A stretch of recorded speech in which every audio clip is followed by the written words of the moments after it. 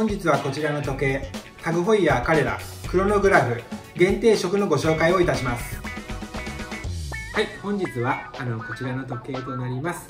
あのタグホイヤーカレラのクロノグラフ今回は限定色のご紹介となります。ありそうでなかったカラーですね。そうですよね、はい。こちらまだ出たばっかで、まあ、ワンショットモデルなので限定品なんですよ。はい。なかなか、はい。あの、今回こちらの方は、あの、ブルーにゴールド、はい。はい、あしらったモデルになるんですけど、通常こう、シルバーの銀色じゃないですか。はい。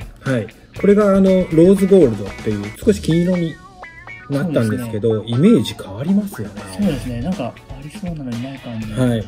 もちろんそのままのあの銀色のものでも高級感があるんですけど、はい。まあ、より高級感と、あとなんかこう遊び、遊びが出ますよね。そうですね。なんかちょっと大人っぽい大人っぽい。遊び心が。はい、見ますよね。はい、それでは、実際につけてみましょう。はい、こちらケース径は 41mm となっているので、まあ、平均的な大きさですよね。そうですね、私細腕なんですけど、まあ、使いやすいサイズでいいですねで、定評のあるこの青。そしてインデックスと針が限定品のローズゴールド。なんか高級感がありますね。高級感がありますよね、まあ、非常にこれ私正直言って当たりだなって思うんですけど。あかっこいいと思いかっますこいいですよね。はい、であえてあれスモールセコンドがこれまた白なんですよね。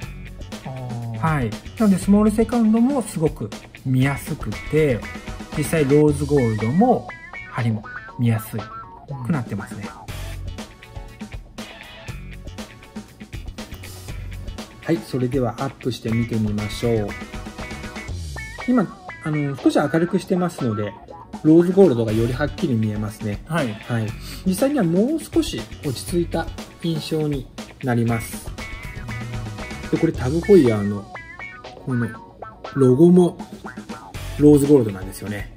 おーなんかいいですねはい。かっこいいこれもかっこいい。で、日付もローズゴールドで囲ってありますね。これなんか限定にしとくのもったいない感じしますけどね。ね、定番であってほしいですよね。はい。まあちょっとワンショットだからこそ、はいね、ちょっと音心くすぐるかなともはい思うんですけど、魅力はい。こう僕らとしてはね、おやっぱりお勧めしたい一つかなと思いますよね。はい、そしたら裏蓋ですね。定番のシースルーバッグになります。いいですねはい。もう言うことなく眺めるだけでも綺麗ですもんね。本当に はそして、キャリバー16。で、サテン仕上げ。周りは少し、あの、光らしてますね。いかがだったでしょうか？本日はタグホイヤー、彼ら、クロノグラフ限定色のご紹介をいたしました。